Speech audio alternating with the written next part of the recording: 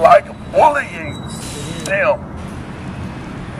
And we are against bullying of any kind because it hurts people. And everybody deserves a right to live, especially in the developed countries.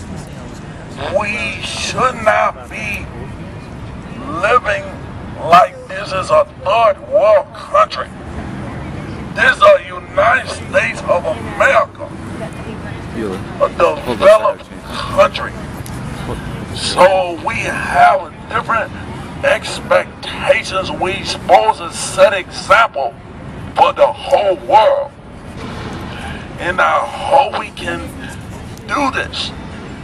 There's a lot of senior citizens, people with disabilities, that oftentimes people don't think about when they making decisions and we have to make sure that they do think about us.